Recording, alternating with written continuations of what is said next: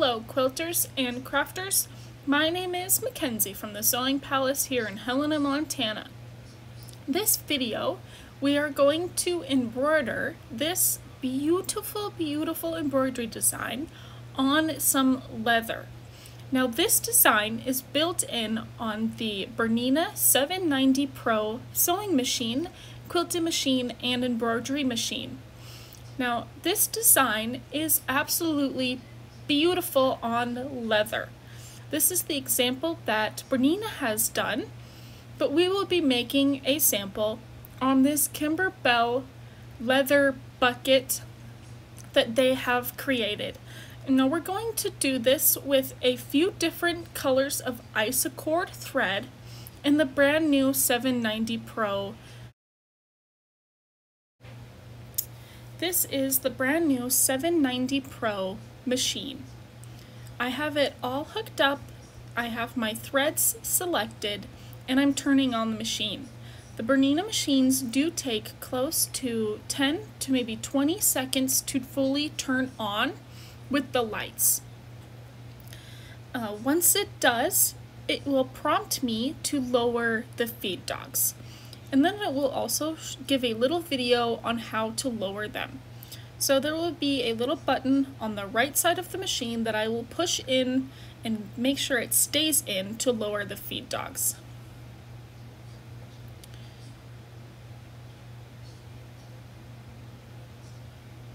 Next, we are going to find our design, and it is in the butterfly. Folder 3, and the first design is our embroidery design. When it first comes in, it comes in as the medium clamp hoop, and we're going to select the maxi hoop because that's the hoop that we have on, as well as we're going to select the right presser foot that we are going to be using, which is the 26 foot. Next, you will see the thread colors that it likes to have. You could change the color of your design with the color wheel, which that's pretty cool. As well as that button right there, you can change the different spool types.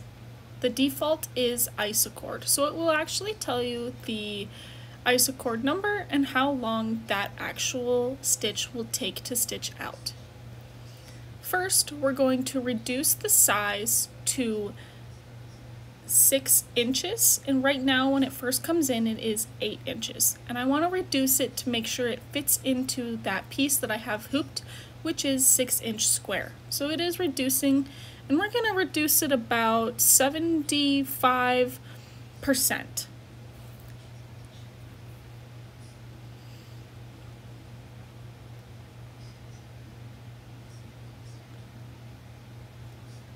and I'm using my multi-function knobs to reduce the size.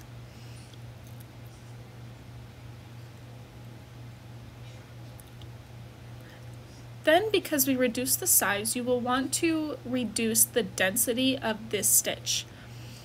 Um, it is telling, what I was pointing to there is it's telling you you want to use the bottom multifunction knob, so I am turning that left to 75%. Now there is a particular ratio that you should do based on how you how much you make it small depends on how dense you want the design. So I'm hitting the X, going back to the stitch colors, just to see the color wheel once again. And that is where you can stain, change to different stitch colors and types.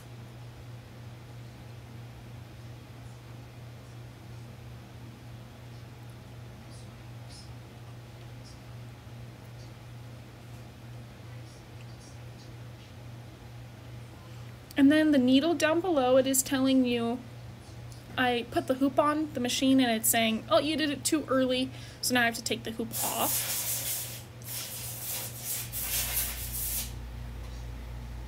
And then the module slides into place where it wants to be and then it's asking me to put back on the hoop.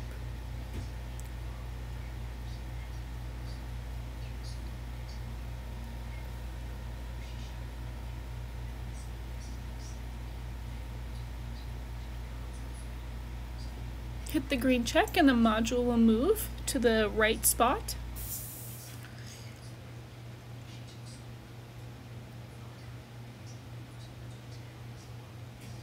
Now this 790 Pro is compatible with Wi-Fi. And what that means is you can see the progress on a mobile device. So I'm going to the App Store and I am looking up the Bernina app that is for the machines. It is called the Bernina Stitch Out app. So I'm searching that up in the App Store and this is an Apple iPad so it does work with Apple iPads, Apple iPhones, and Android iPhones at the current moment. So now I have already paired it, but you will want to make sure that the machine, the Wi-Fi is turned on. And once you've turned it on, it will be spooling and looking for a signal of a Wi-Fi. Now it has connected to our classroom staff and you want the machine and the phone or the tablet to be connected to the same Wi-Fi connection. So they are both at classroom staff, so that's good.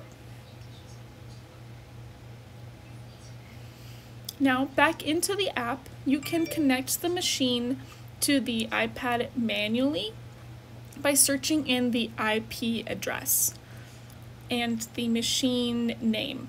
So to find the IP in the machine name, you will hit the settings button, the machine, oh, I gotta go back,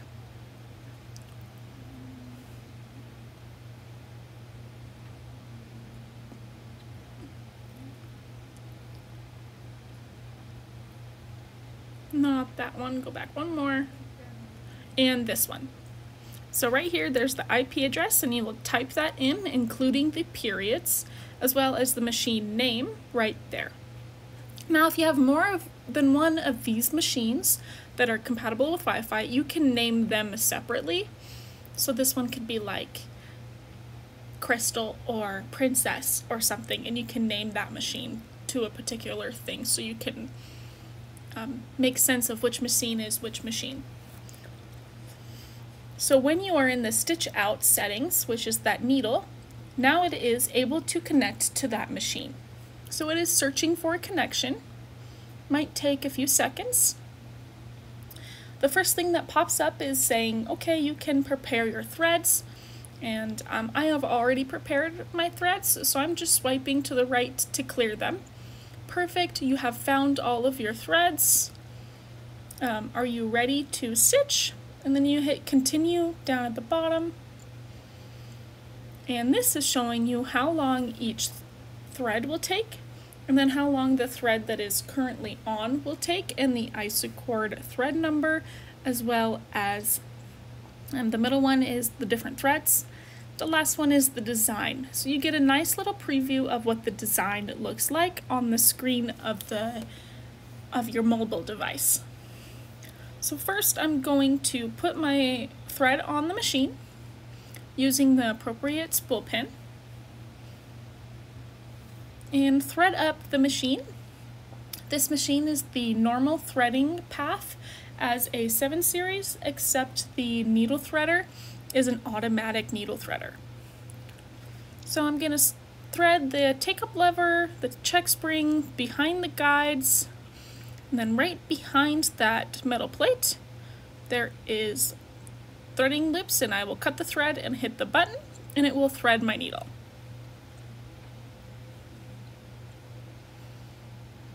Alright, it is ready to stitch. I did forget to pinpoint place my design. So I want to make sure that my design is in the middle of my leather So this is two pinpoint placement, but then I've decided I'm just gonna do check. So I'm gonna put that is absolute check. So I'm just gonna click the center of my design and turn on my laser, my needle point laser.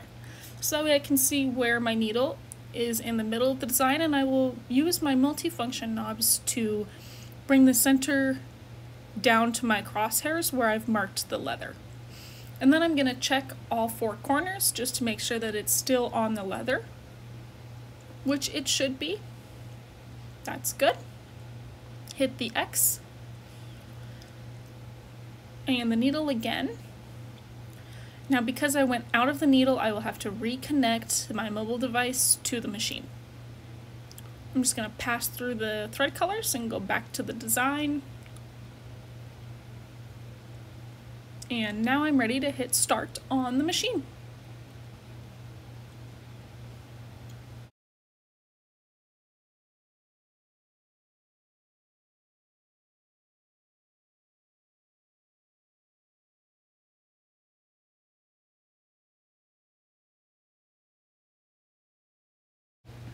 This is my mobile screen. Now I have hit start and it has gone a little bit and you can see the little crosshair on the screen and that is actually telling you where my needle is in that design. And I really, really think that is super, super cool. So it's nice if you were to hit start on your machine while it's embroidering, you know, you see that it's um, takes 13 or 15 minutes to stitch this particular color. And I can bring my phone upstairs to do the dishes or go to the laundry room to do laundry or even do something else with cutting fabric out. Um, I can bring my phone over and I can see what happened to the machine and what the progress is of the machine as it's stitching this design. And that way, when I come back down on the machine, I already know what to expect when I come back to the machine. Um, it will actually tell you when the machine has broken the thread or if the machine has jammed up in some way, it will say there's an error and it can't move anymore and then it will tell you, oh, your thread color is done. Come change your thread colors and it will actually give you a notification on the app from the app that your machine has stopped stitching. Um, since I have the app open, it will just pop up as a little message that my thread color is done or my embroidery design is done or there's something wrong with the machine. So that is super, super cool to see and to have with these new machines. This particular design told me that it would take 58 minutes to complete stitching. And this is a time-lapsed video of me making this design on the leather. And it goes really, really fast um, with the time lapse.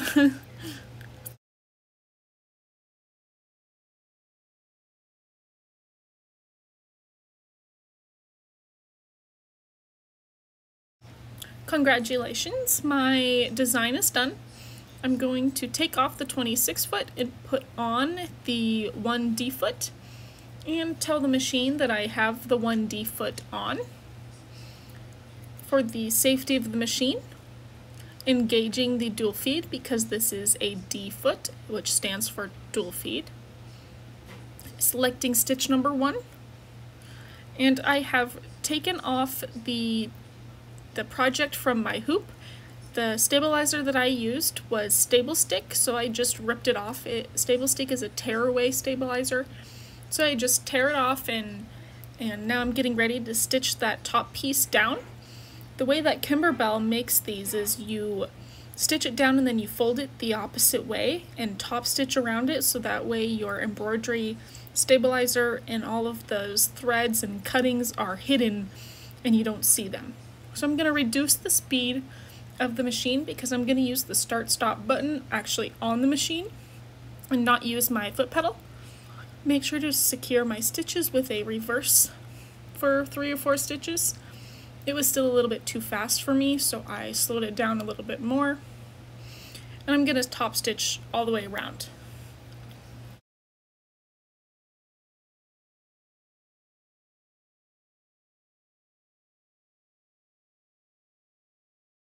As I come all the way around, I'm to make sure to backstitch again when I get to the where I started to secure that and then I will just hit the cutter button on the machine. And once I have done that, um, it is time to put the little bucket together. So that is super cute. You just um, fold it up and you weave it in the little slits and then you've got a little basket. Make sure that your design is out and the Kimberbell logo is on the bottom. Folding in the two end pieces and tucking in that tail into the bottom one in and then it will go out on the top one. And then they give you a little slit in that actual end of the leather as a little handle to hold the bucket. So that is super cute. And just straightening it up a little bit. The more the longer that it stays in a bucket, the better it will form its shape because this has been in a package and it's so used to being flat. So into the bottom one, I'm going to pull it through, out the bottom slit. I'm going to stretch out the handle a little bit and there is my bucket. Super, super cute. My really cute embroidery. It's stitched out very, very nicely. The top stitch, I like that it's a different color. Um, this is the back, so that is why you could change the top stitch color to black so they match, but I kind of like the frame look of the pink.